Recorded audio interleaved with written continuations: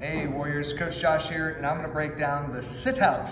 The sit out is a training for Warriors uh, conditioning tool we've been using for a long time. I've also heard people refer this as a sit through. Doesn't matter to me how what you call it, as long as you do it really well. So you're gonna get in the all fours position, and when you do this, it's, it's very important that you're, you're not putting any weight in your knees and very little in your feet. You're gonna be over your hands quite a bit, and then you're going to pivot to the outside leg. All my weight is gonna go right here, and then I'm gonna sit through, kicking my foot directly out in front of me.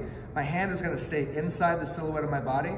I'm gonna turn and plant, then I'm gonna pivot to the opposite side, sitting through, returning, planting, pivoting again to the outside. All my weight's gonna be here. I'm not gonna sit on the ground literally. I'm actually sitting down on my heel. All my weight is right here and a little bit supported with my outside arm. Come back and roll. And as I get good at this, I can do some fun stuff. I can go quick.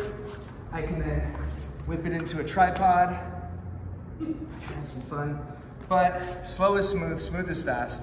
Give yourself some time. Biggest uh, error I see is people sitting on their feet, getting away from their hands. Then you're gonna have a hard time pivoting and changing direction. Staying over the hands, nice and even. Outside foot, going, dropping the hip down. Enjoy, give yourself some time, practice, get the heart rate up, build up your arm strength. Coach Josh, helping you bring out the warrior within.